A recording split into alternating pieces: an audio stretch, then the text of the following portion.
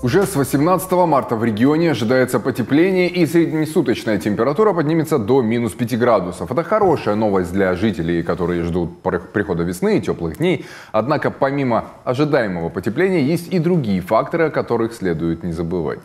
Обычно пожароопасный сезон в крае начинает начинается в апреле, но в этом году есть вероятность, что первые палы могут быть зафиксированы уже в марте, особенно в южных районах. Там запасы снега составляют всего 30-50% от нормы. Сухая почва может поспособствовать развитию пожаров. В прошлом году пожароопасный сезон открылся в регионе раньше обычного. Первые термоточки, палы сухой травы и возгорания на землях лесного фонда были зафиксированы 28 марта. Во время прошлогоднего пожароопасного сезона огонь охватил рекордный территории.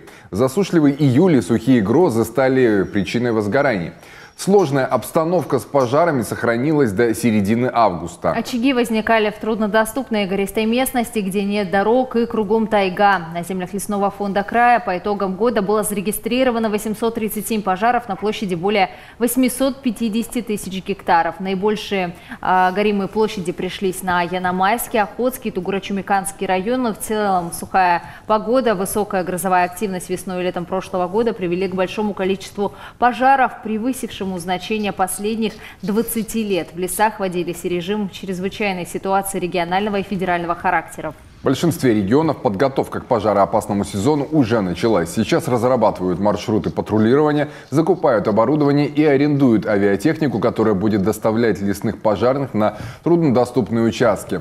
Как идет подготовка к пожароопасному сезону у нас в крае, узнаем у нашего гостя в студии Андрей Самойлов, исполняющий обязанности министра лесного хозяйства и лесопереработки Хабаровского края. Доброе утро. Доброе утро. Вот говоря о начале пожароопасного сезона, какие факторы вообще влияют на то, когда он может начаться и чего мы ждем в этом году? Ну, первый основной фактор – это сход снежного покрова. Э, мы прекрасно понимаем, что чем больше снега, тем мы меньше будем гореть.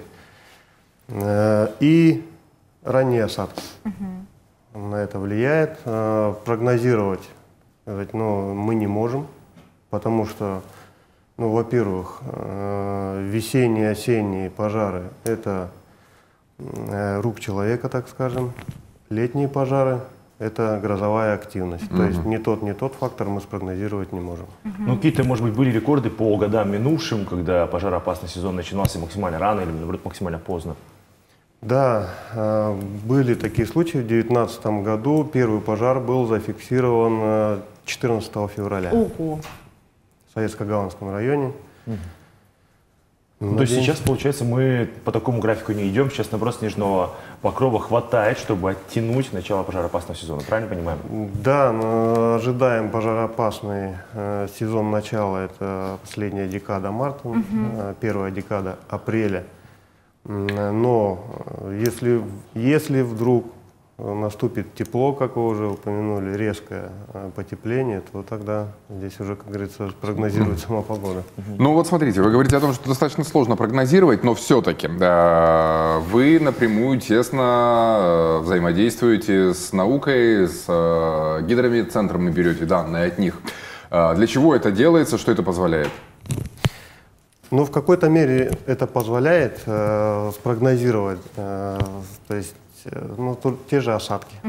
Э, мы рассчитываем, как говорится, и подтверждаются вроде бы осадки на март месяц снежный. То есть надеемся на них. Но опять повторюсь, что мы не знаем, какие будут плюсовые температуры. Uh-huh. Если плюсовые температуры, он может у нас и за сутки сойти этот uh-huh. снег. То есть, да, в какой-то мере это э, помогает нам. Но все же тогда давайте попробуем проанализировать. Ну, если возьмем про последние 10 лет, то какая тенденция э, вот именно по началу пожароопо- э, пожароопасного сезона если и по его масштабности? Ну, масштабность, если берем 23-й, предыдущий год, mm-hmm. давайте возьмем, э, масштабность 22-23 год, э, это горели это аномально э, сильно. То есть угу. цикл горимости это 20-25 лет. Угу. Э, в связи с тем, что накапливается горючий материал в лесу, и который э, вспыхивает при грозовой активности. Э, на, на 22 на 23 год э, выпала горимость, и по площади получается более, вернее, чуть менее 23 год, 800 тысяч гектар, 821 возгорания. Но за 23 год, то есть пожаров больше, но площадь меньше относительно 22 года. Ну, наверное, еще плюс ко всему раннее выявление пожаров помогает их ликвидировать быстро и качественно.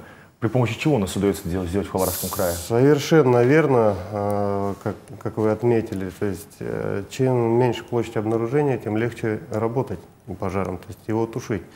Э, в настоящий момент ведется и наземное патрулирование, и авиационное патрулирование, и система СДС, СДМ, то есть космос. Mm-hmm. Из космоса наблюдаем. Ну и плюс к этому нам помогает дистанционный мониторинг, это наши камеры установлены на возвышенности. 30 камер, которых мы также в режиме онлайн отслеживаем.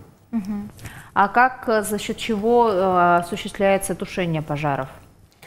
Э, тушение осуществляем наземным способом, это прямым контактом, авиационным способом. Также на наземном способе используется как встречный пал, Э, и ручная работа, то есть это э, топоры, мотыги, лопаты, ранцы. Ну что, что эффективнее всего сегодня? В комплексе. Комплекс. А вот у нас же очень большой край, и есть труднодоступные различные районы, территории. Как там происходит борьба с огнем? Да, совершенно верно. Э, северные районы, отдаленные, Э, на которых трудно э, добраться. В основном э, переброска сил и средств туда осуществляется воздушным транспортом. Это вертолеты Ми-8. Но, к сожалению, даже Ми-8 они не могут доставить в самую северную часть угу. нашего края, потому что не хватает горючего. И угу. следует дозаправка. На сегодняшний день э, мы прорабатываем вопросы, и в этом году откроется одно отделение село mm-hmm. Чумикан, и в следующем году село Нелькан, где будет э, создаваться резервный фонд топлива, э, чтобы судно могли дозаправляться. Угу. Кстати говоря, вот о топливе и прочем, техника, топливо, ну, во-первых, насколько мы технически готовы к пожароопасному сезону, если нехватка каких-то, какой-то техники, понятно, что ее много быть не может, и насколько вообще все это затратно пожаротушение? Техника, а, как, как вы уже отметили, техника готова к пожароопасному сезону. А, остаются небольшие доработки, это не технические а в плане документации, но буквально на этой неделе уже все будет готово. Угу. 2019 года нам было выделено порядка федерального бюджета э, средства на закупку. То есть мы приобрели порядка 130 единиц техники. Э, в этом году, в 2024, планируется на лесопожарную технику выделение, уже выделены средства. То есть закупка будет производиться чисто лесопожарной техники порядка трех единиц.